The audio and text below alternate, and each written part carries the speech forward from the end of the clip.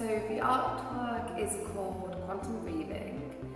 It's a virtual reality site-specific installation um, and it questions our relationships with seductive new technologies. For instance, what do we gain when we embrace new technology and what do we lose?